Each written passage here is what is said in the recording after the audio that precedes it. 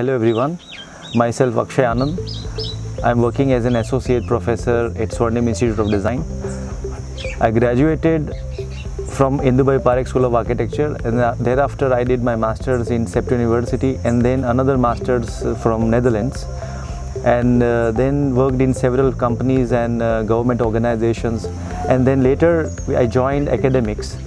One of the main reason of joining academics is that at Swarnim School of Design there is an ample amount of freedom which is given to the faculties and the new courses we have competitive courses and the new dimensions and the new challenges of the courses we are trying to work here most of the faculties are from young background who is also a good mix of experience as well as young faculties so that the new robust ideas of the new faculties and the current practices of the profession are also inculcated in the course programs. Regularly around the year we invite guest faculties, eminent personalities to have symposium conferences at our school.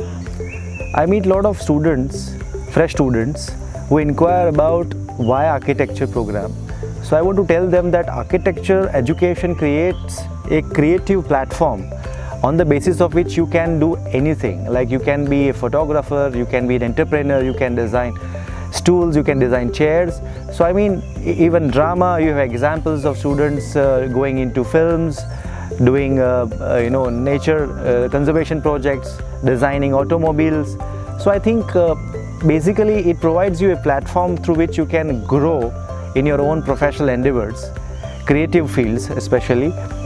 And at Swarnim University, one of the biggest assets that we have is that we have an idea lab. So from a generation of an idea, how do we nurture that idea towards the, to till the patent of it? that how does a student develop an idea and how does a prototype is formed and then how it is patented. The entire legality and the entire process is also taught here by a separate department, dedicated department.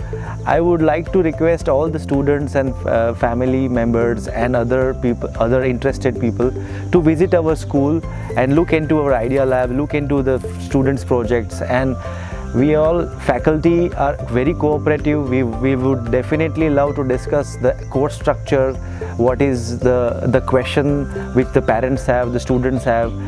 So i would just invite you to our campus and just have a look. Thank you